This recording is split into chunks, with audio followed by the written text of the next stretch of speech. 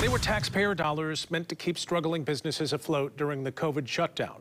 But a Kentwood man concocted a fake company to get a 170,000 paycheck in Paycheck Protection funds. Target 8 investigator Susan Samples was there when he pleaded guilty in federal court today. Susan?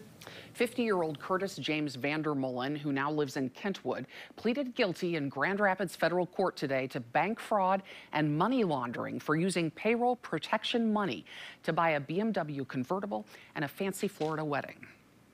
What do you want people to know about why you did this? No comment from Curtis Vandermolen, who has a criminal justice degree from GVSU, a ministry called Grace Changes Everything, and a couple self published books. Now, the 50 year old who told a judge he was raised in Grand Rapids will have a federal conviction, too, for bank fraud and money laundering.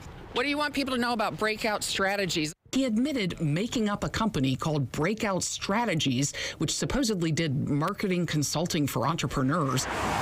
He claimed it was headquartered out of this building on Grand Rapids, Michigan Street, and it employed 11 people, at least according to fake payroll and bank records he submitted, along with his application for payroll protection dollars. I want to give you an opportunity to share. You just pleaded guilty. You pleaded guilty. What do you want people to know about why you did this? In his plea, Vandermolen admitted he took in 100 grand in PPP money in August 2020. He spent 18 grand of that the next month to pay off his BMW convertible, among other personal purchases. When that money ran out, he sought and received a second round, $69,000 in February 21, which he spent on his May wedding on a fancy boat in Sarasota, Florida, a wedding documented on YouTube. Vandermolen said he met his soon-to-be wife near Clearwater Beach, where he had been living, and became engaged a few days later.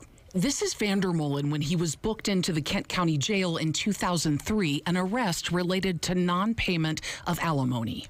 In May of this year, Vandermolen filed for his latest bankruptcy, listing his liabilities at $866,000, including nearly 360 grand in student loans, 19 grand owed to the IRS, and 240,000 in business loans.